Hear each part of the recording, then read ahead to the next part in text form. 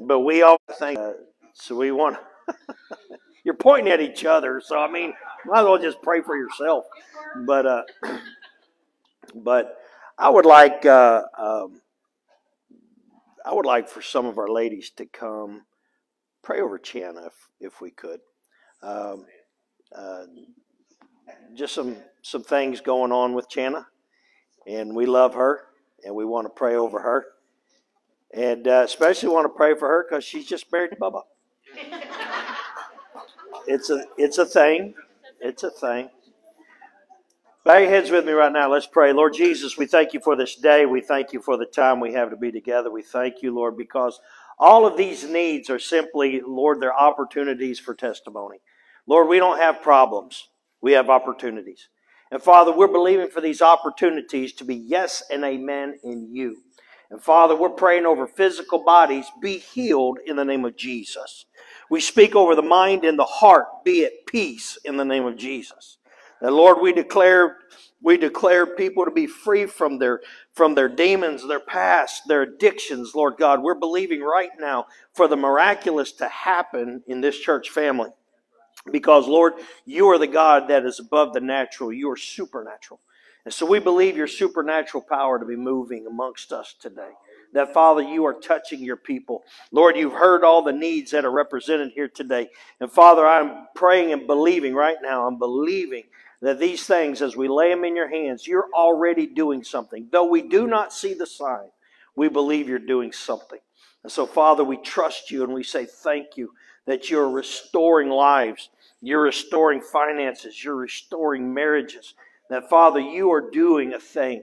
That, Lord, it brings your people a benefit, but it gives you all the glory and honor.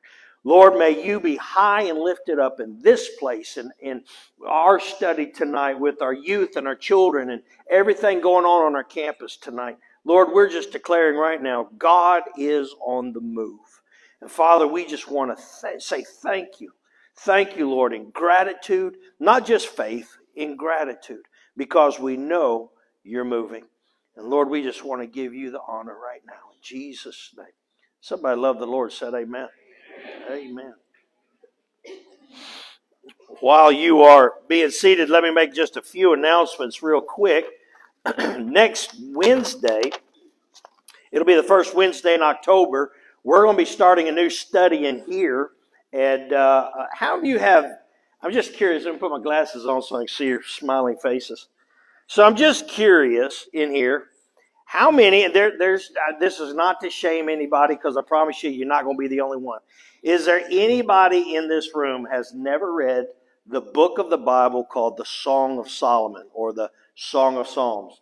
You've never read it, never read it, never read it. Okay. It's one of those parts of the Bible we just overlook, we skip over, we don't think much of it. But I'm telling you, it's one of the most beautiful books because it not only deals with marriage, but all relationships. But there's a particular place in there where it's dealing with Christ and you. Because have you know, you are the bride of Christ. We are. And uh, Ephesians 5 says, Husbands, love your wives as Christ loves the church. And then it says, Wives, love your husbands. Uh, uh because uh, just as the church does for Christ. And uh, there's a beautiful picture in there from Ephesians, there in the Song of Solomon. Of, of us and Jesus Christ. So we're going to we're going to start into that. So I'm going to ask you this is your homework is uh, we're going to start with chapter one so your homework between now and next wednesday is you got to read the first chapter of the song of solomon or song of songs it, it, goes by two different titles depending on which bible you have so song of solomon you're going to read the first chapter and then we're going to go over it uh, we'll be doing a chapter by chapter study of this book i actually took that a study of it it was a graduate level study uh, some years back and it was fascinating fascinating the stuff that's in there. The um, we do have some posters down here in the front. We have our Fall Fest going on. Thank you, Miss Christie. We got good things happening. I printed up a poster for you if that's okay. Did you have a poster? Where is it? Well, then forget these. You don't need these. Get the this is the this is the great value version. Okay? That's a legit name brand right there. Okay. So you're the one that come up with those. Yeah, but I like yours better. Yours is cooler. Let me see yours. Oh yeah, yeah. Don't don't worry about those. This is so much better. This is so much better. Okay, so anybody needs a poster, be sure to see Christy. We have some right here on the front, and uh, y'all get one of those because they look much better than this hot garbage that was printed up today. All right, uh, let's see. Mm-hmm. We have uh, quilting is tomorrow night. All right, six o'clock. Come out and get your sew on. The um, our ladies, we've got a group of ladies that are leaving uh, to Women of Women of Joy, Women of Joy conference. Pray, pray for women to be redeemed and come back. New women, praise the Lord, praise the Lord. I remember. How y'all remember the? Uh, I remember the story of the uh, the old farmer and his son. Never been, hadn't been to town in, in many many years, and they they they go to this department store that had an elevator, and uh, uh, they there's the son and and the father stand there looking at the elevator. They're not sure what to think of it. The door opens up. This little old lady walks in in there, hits a button, the door's closed. They stand there and wait. And after a little while, the door's open, and this beautiful young woman walks out. And uh, the father and the son look at each other, and the, the old farmer father looks at his son and says, Boy, go get your mama.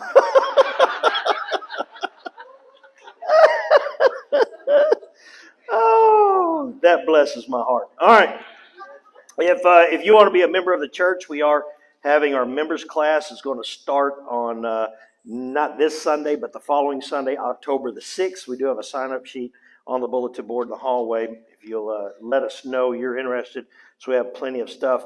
One last thing the youth group is, is uh, going to do a parents' night out where you drop off the kids here, and then you go out on a date, which is dinner in Walmart. You know, I mean, if you're if you're really an adult, that's what a date is. We're going to dinner, then you stop by Walmart, and then you go home. But uh, on uh, they're looking at uh, this one says November the thirtieth. I was thinking there was one sooner than that, but uh, they're going to be doing a time where you drop off your kid for a donation. They'll take they'll keep your kids occupied. Y'all can go out and do your stuff and uh, go have a good time, and then come back. Come back and get your kid. Come back and get your kid, uh, or they're gonna they're gonna be on Facebook Marketplace, which might be good for you still. I mean, I don't even. Virginia's go over there like, woo, that sounds good. I just get rid of my kids, man. Uh, all right. Praise the Lord.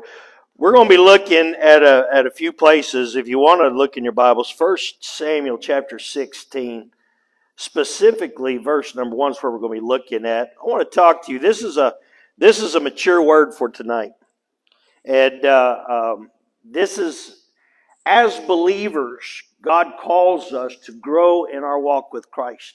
That we are not to just stay at one level. We got to grow. Paul says, you know, what is going on with you? You should be eating meat when it comes to God, but instead you're still drinking milk the old the old preacher used to say it's a shame that people in, in the church uh, they they grow old but they never grow up in God to where you have to part the gentleman's whiskers just to get the bottle into his mouth. That instead of growing in our wisdom and understanding of God, we stay at a shallow level. And uh, so I want to take you a little deeper. Is that okay? I want to I want to help you find deeper places because because your dependency is not on me. I'm your pastor. But all a pastor does is I stand here and say, hey, you, go to him. Hey, you, go to him. My job is to get you from there to there, not from there to me.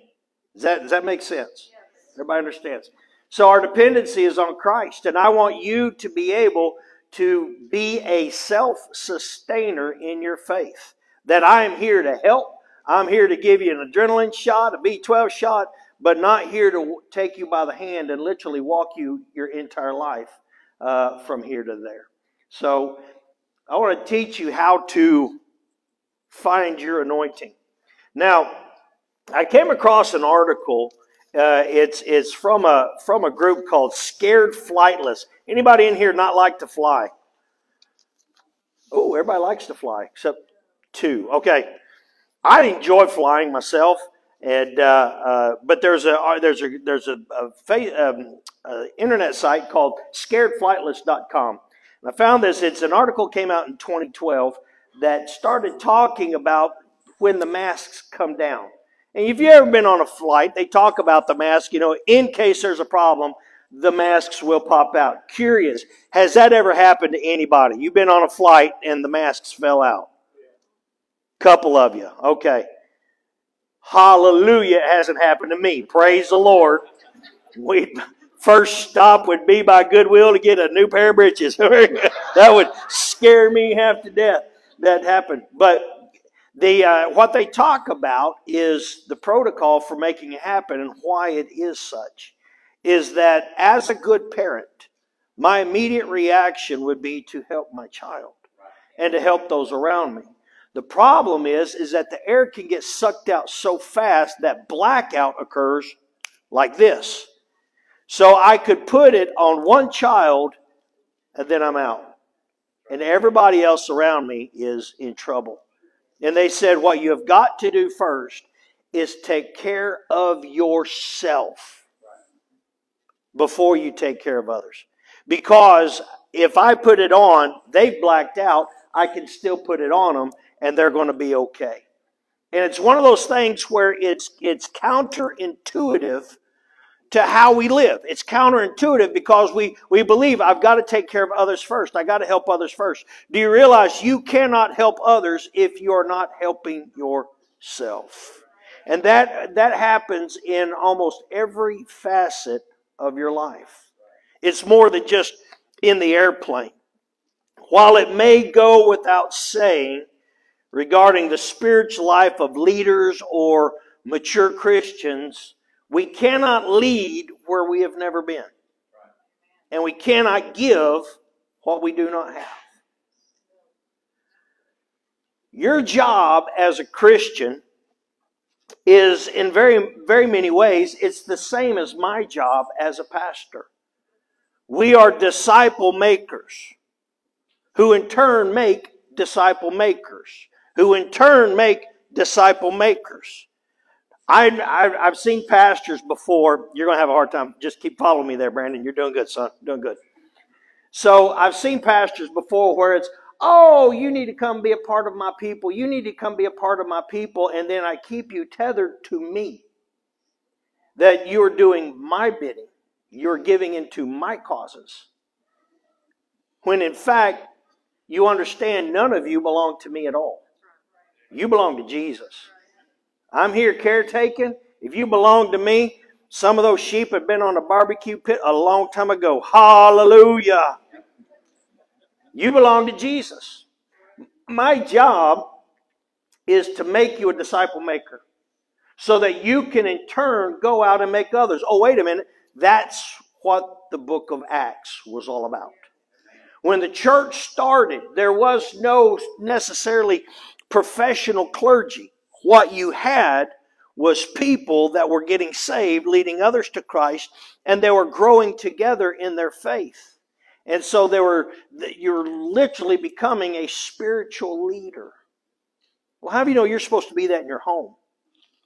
The greatest, the greatest mission field you have at your disposal is your own family.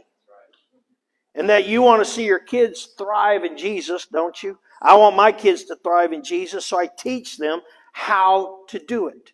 And so for us, if I don't have it in my life, how can I give what I don't have? How can I lead where I've never been? I do not know how to counsel somebody. Now, I can wiggle through it, but I don't know how to counsel somebody that's gone through a bankruptcy because I've never been there. I've, I don't know how to counsel somebody through a divorce because I've never been there. Now, if you want to talk about how do I save my marriage, I've been there. If you want to talk about some other circumstances I have encountered, I can talk about it. Why? Because I've been there. But if I've never been someplace, I can't lead you there. So if I'm trying to tell you go deeper in God, but I myself am not, who am I kidding? So as mature believers, it's got to be in us before we can give it away. Now, burnout is a thing that happens in every occupation, but it's especially happening in church. Now, part of part of what I don't go don't go to that one yet. Don't go to that one yet. Let me uh, let me give you some statistics here. This is this is burnout according to pastors. Okay, I want to give you. Let me give you a glimpse into my world. Okay, because what happens in my world often happens in your world as well. Now, in uh, 2010, this is some data material, but this comes from the New York Times. I'll tell you, it got worse than this after COVID. It got, it got a lot worse. 45% of pastors, this is uh, uh, out of the New York Times, it says members of the clergy now suffer from obesity, hypertension, and depression at rates higher than most Americans. In the last decade, the pastor's use of antidepressants has risen while their life expectancy has fallen. Many pastors would change careers if they could. Interesting. 45% of pastors say that they've experienced depression or burnout to the extent that they needed to take a leave of absence from, from ministry. 50% of pastors feel unable to meet the needs of the job. 56% of pastors' wives say they have no close friends. 70% of pastors don't have close friends. 80% believe that pastoral ministry has negatively affected their family. 94% feel under the pressure to have a perfect family. 90% of all pastors feel unqualified or poorly prepared for ministry. What you think about that? Nine out of ten pastors feel unqualified and unprepared to do this job. How do you feel about being a Christian? How do you feel about your walk with God? Can you say, can you say, you know what, I'm, I'm, I'm God's man or woman of faith and valor. I'm going to show you, I'm going to help you, I'm going to lead you. Do you have that kind of confidence to do that? The shame is, is most churches do not have people that feel that way. Instead, we feel like, well, I don't know if I can do anything. Do you know you're a Bible scholar in your own community? If you've been in church 10 years, you're a Bible scholar in your community. Well, Brother Mike, I don't know that much about the Bible. They know less. They know less than you do. And so there's moments where we feel unqualified to do what we do. 1,500 pastors leave the ministry every month because they're burnt out. That's something I really want to dig down deep in here, is because if we're not careful, that happens to all of us. It happens to all of us in a church, especially you're here here on a Wednesday night. That means you're usually got your hands busy doing something in the church. You're usually uh, uh, helping out with this or helping out with that or wanting to be involved. And if we're not careful, we have a we have a whole battalion of people that no longer work with us. Burnout is a condition that occurs in ministry when we attempt to do the spiritual work through fleshly means for a sustained period of time. Where you try to do spiritual things in your own strength. Can I tell you, this is a recipe for disaster? It is. Do you know how we should be doing things for God? How we should be living for God? It's like this Dear Lord, help me. Give me your strength. Give me your patience. Give me your wisdom. Because, God, I can't do it on my own. I've got to have you. I've got to have you to represent you. I've got to have you so people can see your light shining through me. Help me today, Lord. In Jesus' name, amen. Do you realize that should be every one of us? Not just the pastors. Because I'll tell you right now, as pastors burn out, I see more and more and more church people burning out. Why? Because they're busy trying to do it in their own effort. Man, if I, I'm, I'm telling you right now, kids' ministry is not my ministry. If I can't whoop them, I don't want to deal with them.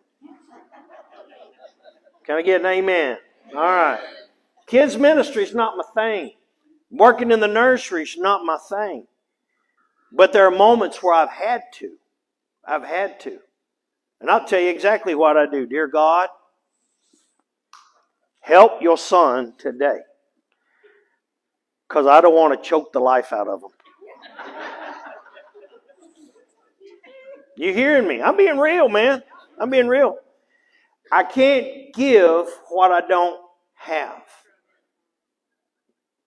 Burnout happens because this is why it's notorious in pastors is I'm so busy doing, I don't have enough time being. And this is something I've got to. I went to the doctor today and I had my yearly physical. Hallelujah, man! I, I she skewered that vein today, and uh, got all that blood out of there. And uh, uh, I, you know, just to make sure I'm healthy. Now, my doctor, I don't like him. Terrible individual. So he's he's he's old army doctor. He he was he was in the military. So he's like he's got his little hammer, and I'm not good at you know you hit the knee, and I'm not good at that. My, my years ago, my doctor said you know grab your arms and pull upper body, and it takes all the tension out of the lower body, and then then it actually works. This this joker's over there got the little hammer, and it's not working. What does he do? Yeah, he karate chops me right there. Boy, that knee popped out. Pop, wow! He said, that's an old army trick we learned out in the field. Well, you're about to learn another trick, buddy. You hit me one more time.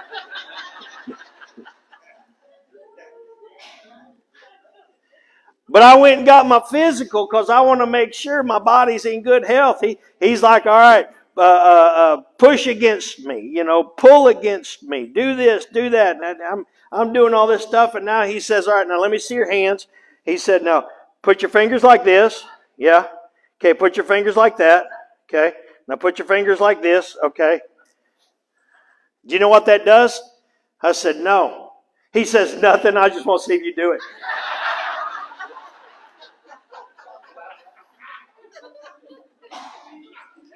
I was, yeah, I was like 1 800 report a quack, you know. I, I was like, you ain't no good. I need to make sure my physical body is healthy. What do we do to make sure the spiritual body's healthy? What do we do? How, how are we making sure that I am good? That, Lord, I am I'm healthy.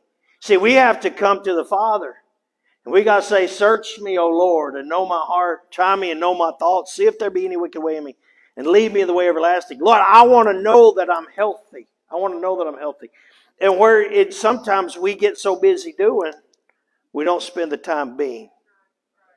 Because I'll tell you, you're worth more than what you do. You're worth I'm not just a preacher. My worth is not in being a, a preacher or an administrator.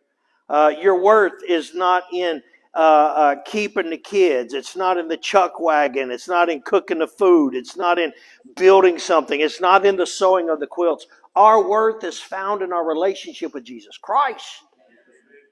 Out of this comes that. But too many times we're busy doing this that we're not filling this vessel up. And if you're not filling that vessel up and you're going and you're doing and you're giving and you're going and you're doing and you're giving, we're at the church every time the door's open and several times when the door's not open. And suddenly you just get tired and you're like, you know what, I don't want to do this anymore. The conference I went to in Orlando, Florida, Kissimmee, Florida, just a couple weeks ago, they literally pay for pastors to go to their conferences. Uh, uh, they they'll they'll do it in Florida, do it in Tennessee.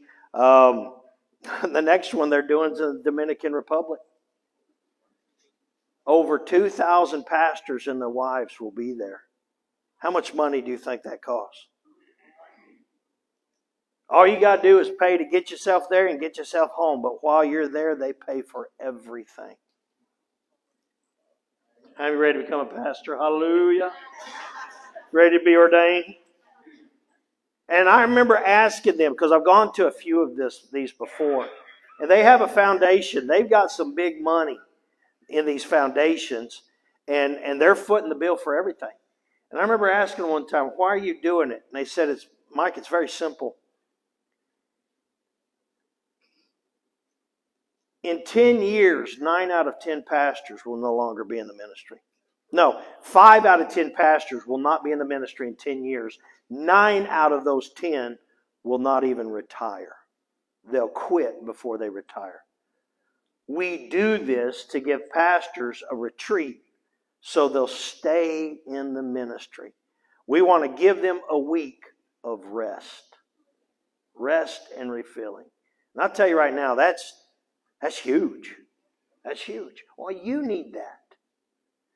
Where are you resting? Where are you refilling yourself? Where are you making sure that you stay strong? What you do for God has got to come out of the overflow of what's inside of you. And if there's nothing in you, I will tell you, you're not doing anybody a bit of good. What happens, mom, dad? You're running, running, running, running, running, and you're tired and you're exhausted and you're getting cranky. Look at somebody sitting next to you and says, He knows you.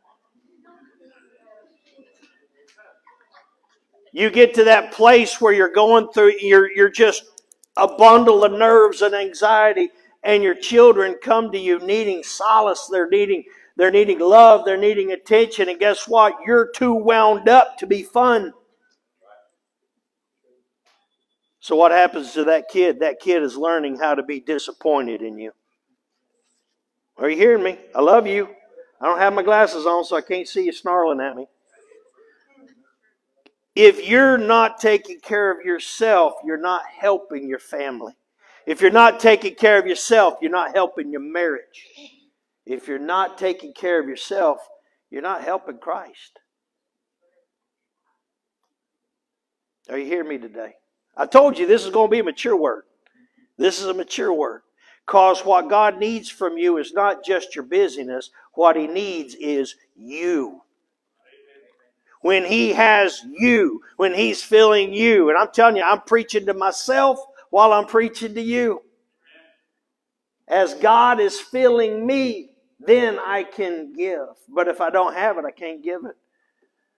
Had a I was telling who was I telling that to?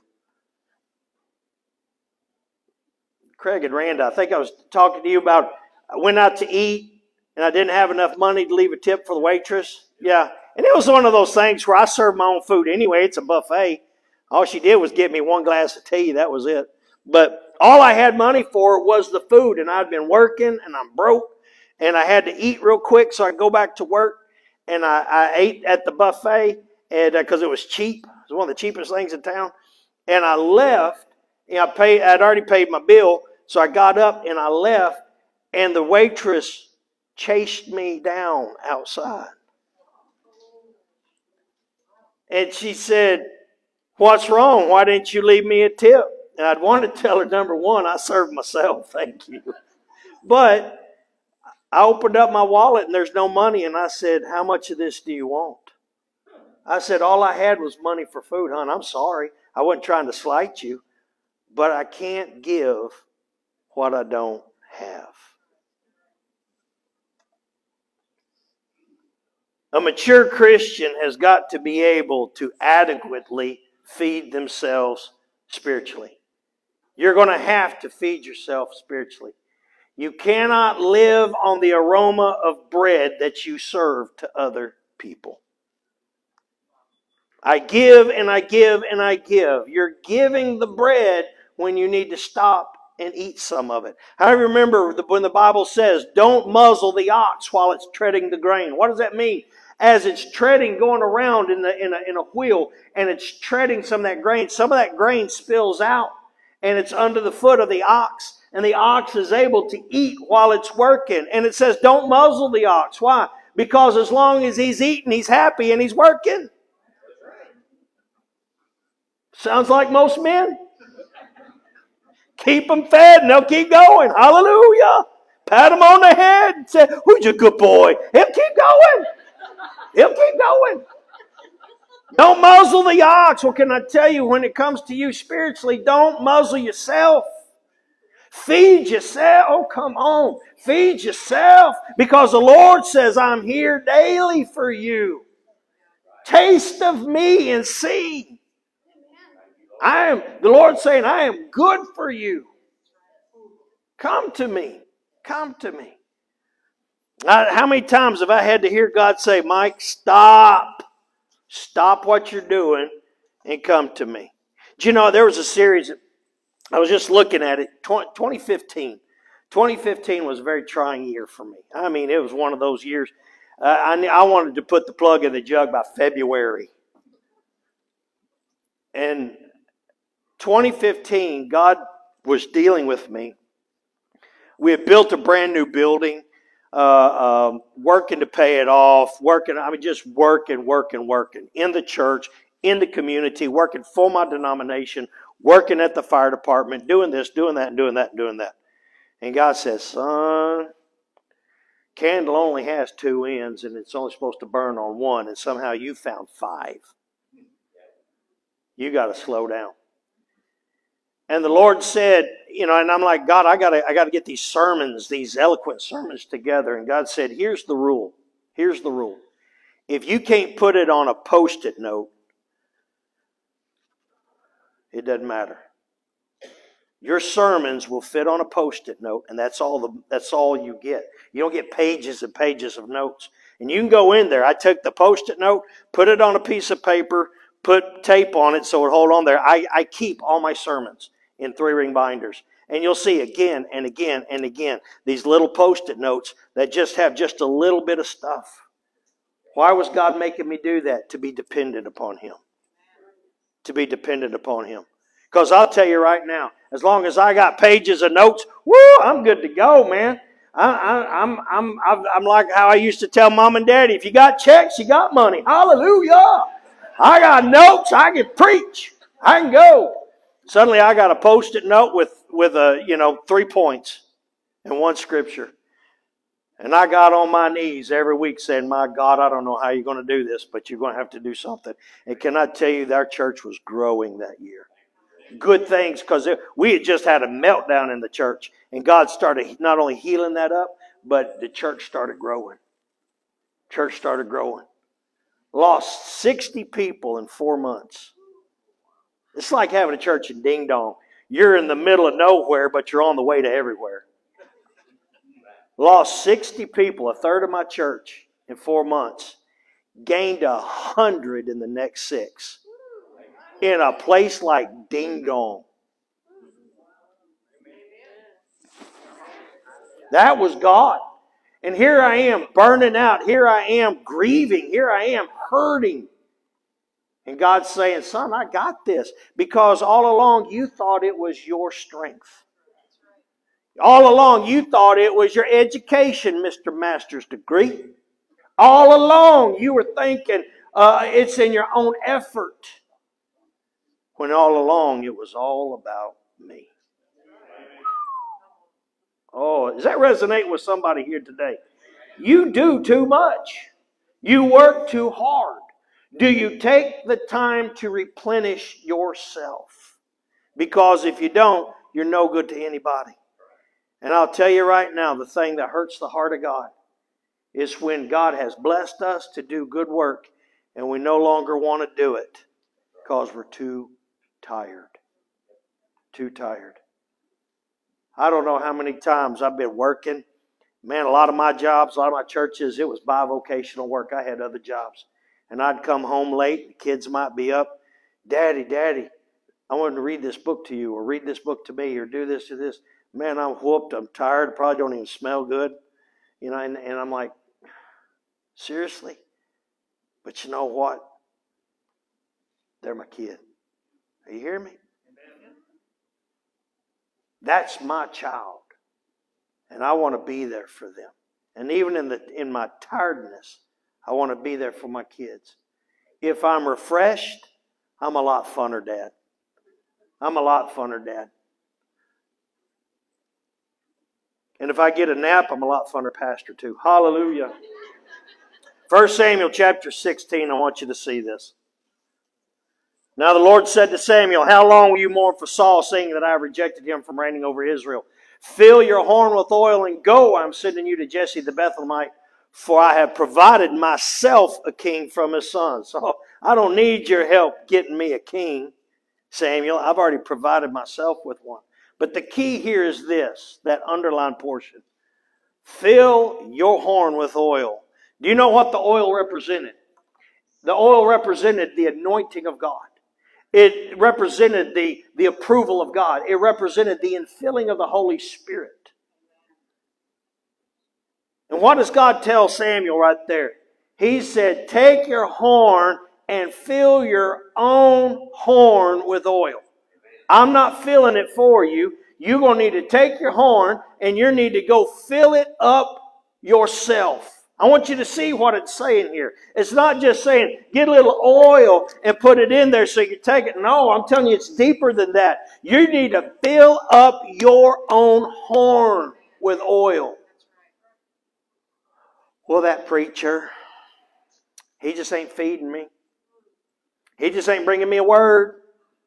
That preacher, I just, I'm just not getting fed in the church. And listen, I've heard that. And I've had some guys I heard preach. Man, they preached for an hour and I was done with them in 10 minutes. It's the truth.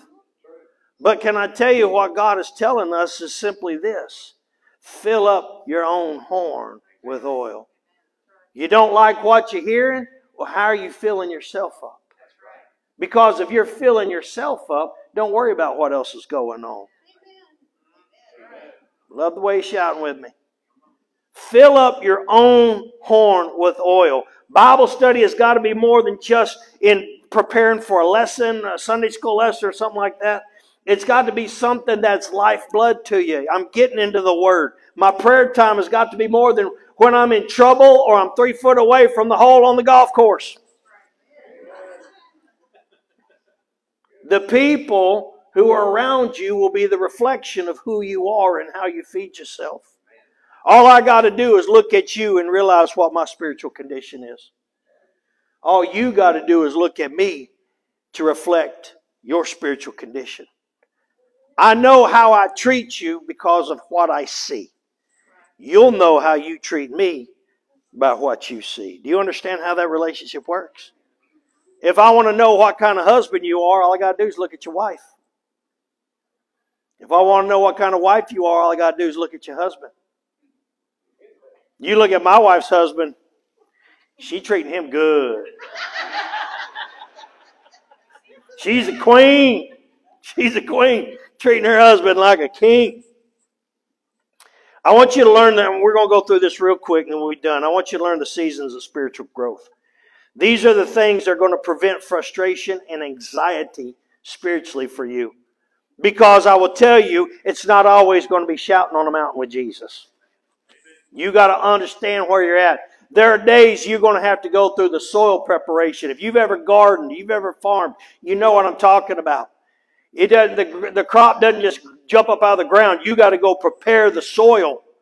That's some hard work. You got to break up the ground. You got to get out the rocks. You got to dig up the stumps. You got to get out the weeds that have been growing up there. The stuff that just kind of sprouted up. You got to prepare that soil of your heart by doing a little what? Tearing up.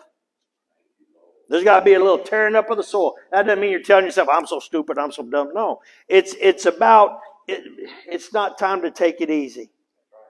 It's time to work. It's time to get into that Bible. It's time to read. It's time to spend some time fasting and praying.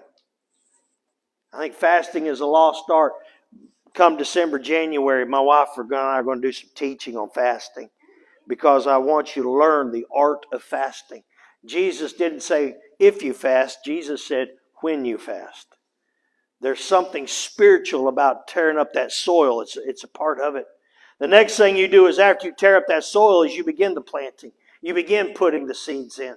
Once you've gone through that process of getting yourself ready, Lord, I'm I'm, I'm, I may be going out uh, uh, for a spiritual retreat. I may be gone for the weekend. I may be, I'm doing something in my life to get myself ready. Now I'm putting that word in there. Now I'm believing. These are, these are seeds of what I want to see grow out of my life. If I want to see generosity grow out of my life, I've got to be planting some generosity inside of me.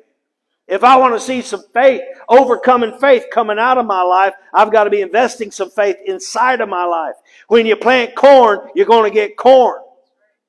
You don't plant corn and then get zucchini squash. God loves you. He'll never give you zucchini squash. He's a good God. Hallelujah. Throw that stuff out in the garbage where it belongs. Find redemption. So, you have that, that time where you're getting your heart ready. Lord, I'm, I'm, I'm needing you. I'm wanting you. You ought to be, before you open up the Bible, just take some time and render your heart and just say, Lord, help me to understand what I'm about to read. And then I'm planting that stuff inside of me. And then comes the maintaining. This is the water. This is the fertilizer. This is the, the time where I'm, I'm, I'm just, I'm just in there doing it, man. I'm living the life of Jesus Christ. I'm doing what's got to be done. Woo, I'm ready for some harvest. I'm ready for some harvest. It takes time. Time.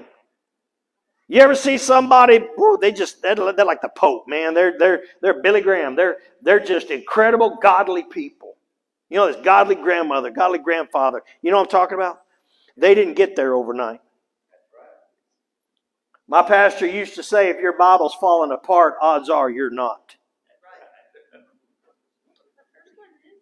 You get you get in that Bible and you're just going through it. I remember getting a Bible one time. Somebody left it in the church, and I opened it up, and they had scrawled all through it. I mean, there was notes, there was highlighters. I mean, the a pen factory exploded on this thing. Rainbow of colors like Skittles melted in it. I mean, it was just all over this. You know what they were doing?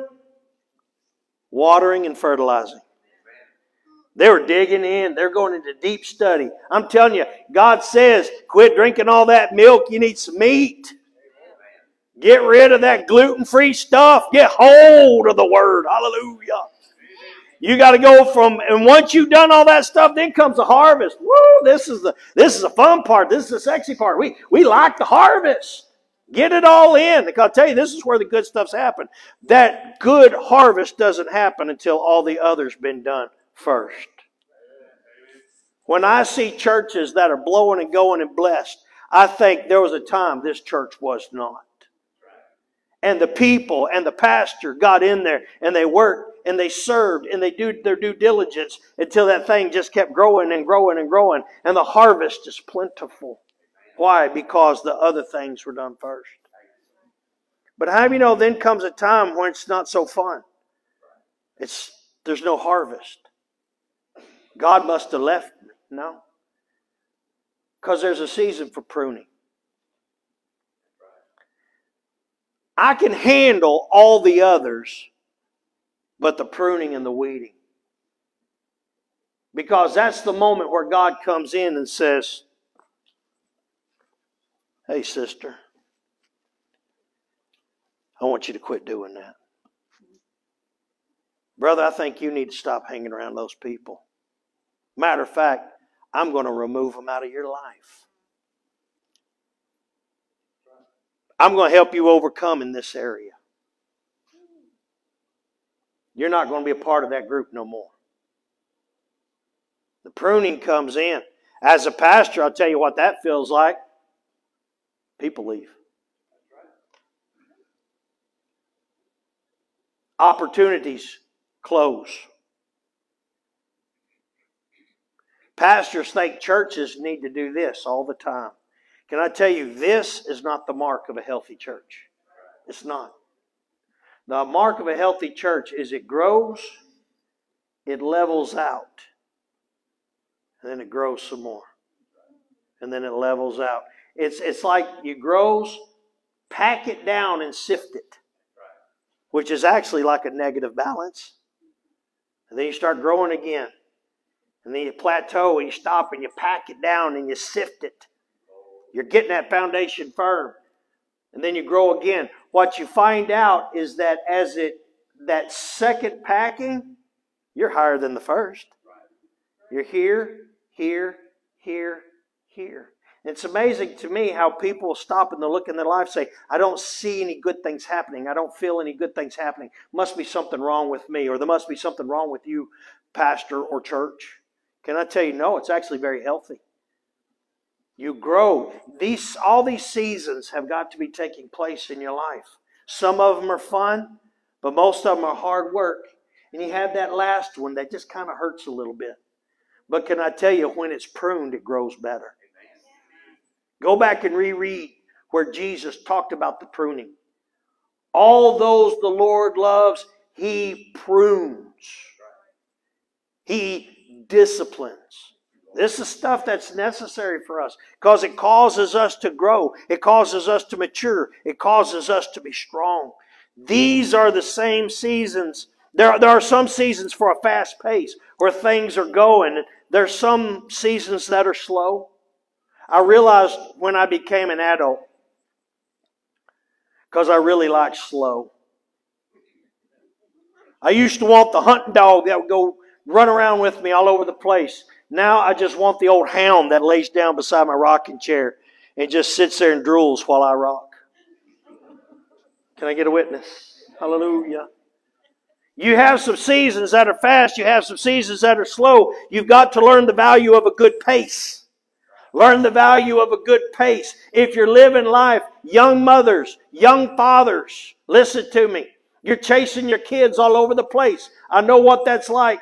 I had three different kids and there was only one mom and one daddy. I had three kids, had to be at three different ball games in three different towns, and there's only one mom and one daddy. Then it's, hey, can you take my kid? You know, one of my kids is not going to have a parent there. There's nothing I can do about it. That last one was Gomer Pyle. He just said, surprise, surprise, surprise.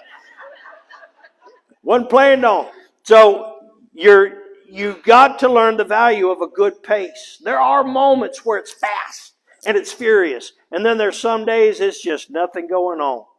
Learn to keep that good pace in your life because I'm telling you, you'll chase your kids and chase your kids and chase your kids, and then all of you are tired of baseball. All of you are tired of rodeo. All of you are tired of basketball. Are you hearing me? You go and go and go, and then you're too tired to keep. And they're all gone right now. I don't have that. I just got a couple of you in here. They're all busy chasing their kids. I'm telling you, I see parents that are wore out and wore out and wore out because of chasing their kids. Personal depths occurs when you create places of slower paces. You're going to grow deeper when you can relax. Okay? That solitude and quiet, you need to learn the value of solitude and quiet. I'm glad I live in the country. I'm glad I live in the country because then I can go sit underneath my oak trees and I can just listen to the crickets. Or get yeah. I put that stuff out there. I I, I got to put that mosquito killer out there.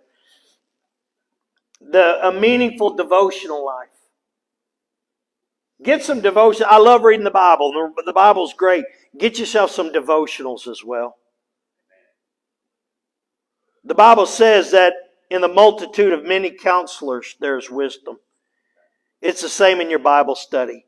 Have a multitude of things that you draw from. It's okay. If you have an opportunity, there's a book called Waiting on God. Waiting on God by Andrew Murray. It's an old book. You can find it for cheap on the internet. But uh, it's he's a South African. Uh, we're talking over 100 years old, so the language is just a little bit older than what we're used to. But I promise you, it's a deep book, Waiting on God, where you're just sitting there being still. Oh, wait a minute. What did the Bible say? Be still and know that I am God. Not run a hundred miles an hour. If you want to fill up your horn with oil, you're going to have to find those moments to be still. And I'm not telling you that's easy. I am the world's worst. If my wife was right here, she'd be saying amen and preach it. I am the world's worst at burning candles at five ends. I am the worst at it. And I have to take those moments where it's be still. Billy Smith used to come in my office, hadn't even been here all that long. Billy saw it. Be still. Refresh yourself. Why? Because if you fall over, you're not helping anybody. As one mechanic said, if you let your car down, your car will let you down. So here's where we're going to end. 1 Corinthians chapter 11. Paul said, Imitate me as I imitate Christ. Imitate me as I imitate Christ. You, as a spiritual leader, are the walking billboard for Jesus saying, Hey, live like I do. Have you feel good right now about somebody imitating you for how you live? Some of you are like, I ain't ready for that yet. Getting there, Jesus, not quite there. Imitate me as I imitate Christ. Okay, so if I'm going to be like Christ, what did Christ do? Well, I'm glad you asked. Mark chapter 1, verse 35. Now in the morning, having risen a long while before daylight, Jesus went out and he departed to a solitary place, and there he prayed. You want to know how Jesus was able to do the things he did? Because of this right here. This is where you fill up your own horn with oil. You get along with God and you take those moments. I'm not telling you it's going to last an hour, it may just be 10 minutes. But the best thing for you, as it is for me, is to take those moments and get alone with the Lord. And I encourage you with this thought. When you pray, because some, some of you don't come from a Pentecostal background. So let me help some of you start your Baptist out. When you pray and you get all of it out to God, take a moment and stop and be quiet. Because if you do, God will talk back. Jesus said, John chapter 10, My sheep know my voice. My sheep know my voice. If I don't know the voice of Jesus, what? And this is what this is what you hear as well as I do. How do I know it's God talking to me? How do I know if it's the devil talking to me? How do I know it's me talking? There are three voices in your head. When you say you're hearing voices in your head, you really are. Well, how do I know which voice is God's? Because I've learned to listen to Him. My sheep know my voice. Oh, come on. Learn to hear that voice. It's the best voice you'll ever hear. Speaking in your heart, your mind. I've never heard him with my audible ears. If I did, there's probably something very wrong. And he probably uses my middle name. Yeah. Bow your heads with me. Lord, thank you for this day. Thank you for the opportunity we have to be together. Thank you, Lord God, that you call us to be deeper in you. Lord, I want my prayer as a pastor is I want these people that you've given to me. They don't belong to me, they're yours, Lord God. I want every man and woman in this house, every young man and woman, every boy, every girl. I want every single one of them to be a deep dweller in your presence. I want them to be a deep dweller in your word. Lord, I would pray that every man and woman here would learn how to fill up their own horn with oil.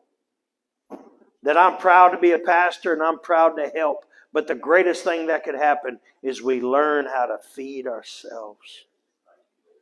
As a parent, I didn't raise my child to, to be dependent on me to tie their shoes.